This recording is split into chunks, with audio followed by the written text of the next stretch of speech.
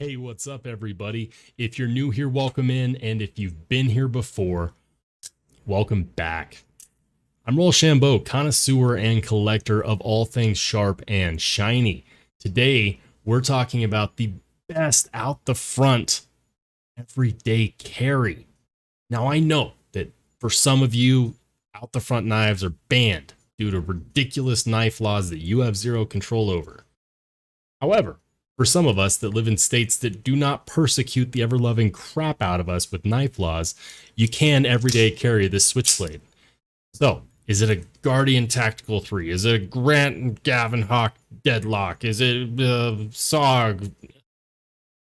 Spoiler alert, it's none of those. In fact, it is indeed a Microtech Ultratech.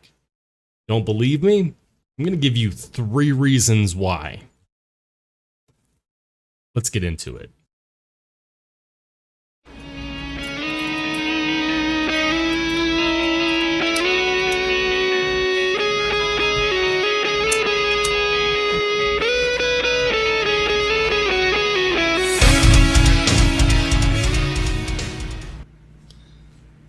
All right, everybody. So, why is this Microtech Ultratech the best out the front everyday carry knife? Now, before I get into this, disclaimer. I know that there is a group of people that absolutely hates Microtech. Maybe they dislike them because of their business practices and how they re- treat other businesses in the same market. Maybe you don't like Anthony Marfione because of some of his other business practices in the past that have also been questionable. For the record, this is not a sounding board for that. I am not trying to talk about drama. I'm not trying to talk about business ethics because between you and me, I don't know very much about those situations. All I have is hearsay.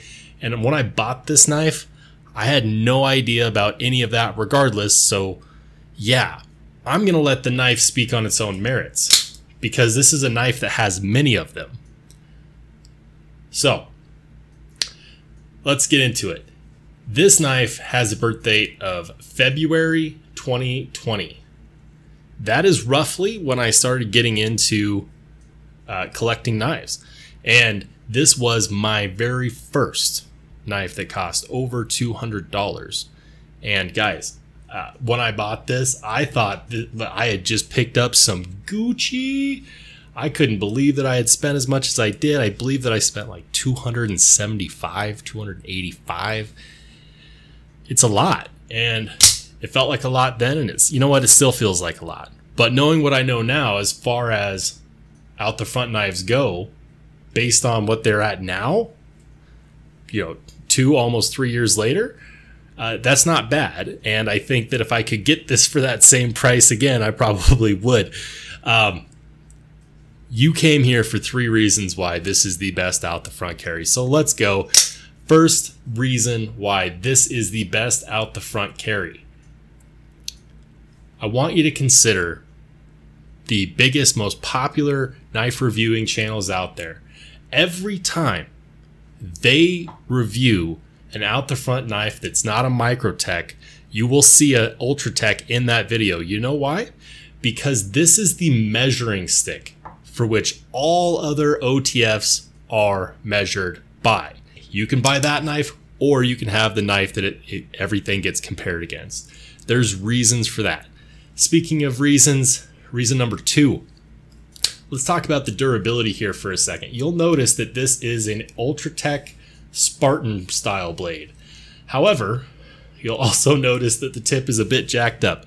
Uh, that happened because when I bought this knife, I had seen a ton of videos of people just using and abusing the absolute crud out of their Ultratechs and having it stand up and withstand a lot of damage.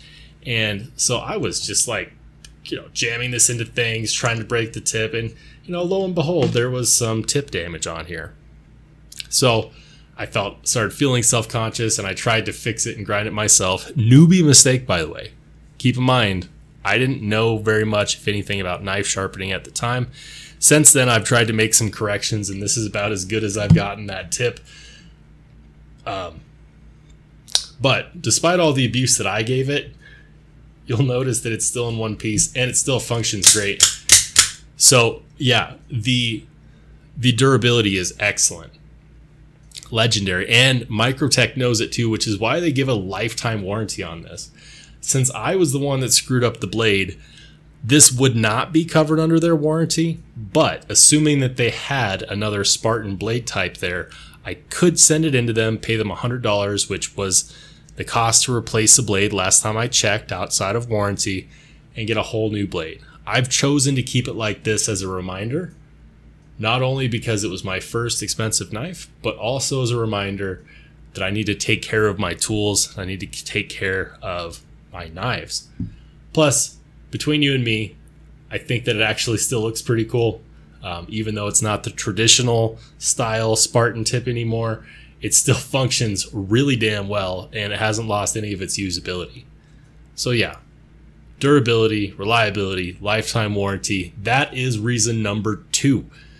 And finally, and I did touch on this, the third reason why the Ultratech is the best everyday OTF carry is because of its user friendly design language. Take a look at this aluminum handle scales. These aluminum handle scales are light and rust resistant, and they're anodized. And I'll tell you what, I've carried this one a lot. There is not much damage on here. It's light and strong, which means that you can carry this in something like board shorts, okay? I wore athletic shorts today and because I knew I was going to do this video, I actually just popped this into my pocket. And guess what? It didn't weigh me down. It didn't feel like I had a brick flinging around in my pocket. It actually felt nice. Furthermore, on the design language, we have this pocket clip, which is naturally deep carry. This pocket clip is great, okay? It slides in and out easily. It doesn't kill the, the edge of your pockets. It won't rip up your pants. It gets the job done. Yes, it is very wide, but that's okay because it ensures that there's enough pressure holding it in place. And it's not a hot spot. It actually fits really well in the hand. Also, and I know that someone's gonna be like, well, other old OTFs have these features too. Uh, you know, they were the first to really come up with what Blade HQ had termed and coined the podium jimping, which I think is a lame term. But you know what? They caught on to something there. Their buttons are super friendly as far as deployment, retraction, and it's a double action OTF, meaning that you can open and close it one hand. The blade length comes in about three and a half, just shy three and a half inches, which is going to make it legal as far as blade length is concerned in many states. I am not a lawyer. Do not take legal advice from me. Check your own knife laws. Okay? I do not know your state knife laws, but here in Colorado, it's legal. The design language is perfect. And yes, other OTFs have this button style. Other OTFs have, you know, similar looking handle scales that are made out of aluminum. But guess what? Because this is the yardstick in which other OTFs are measured against, you can thank the Ultratech for that. If you have an OTF that you like better than the than the Ultratech, you can thank Microtech for that. All those people out there that love the axial shift that I have not had a chance to review yet but would really like to, know this. You would not have that axial shift out the front knife if it wasn't for the Ultratech. So give credit where credit's due.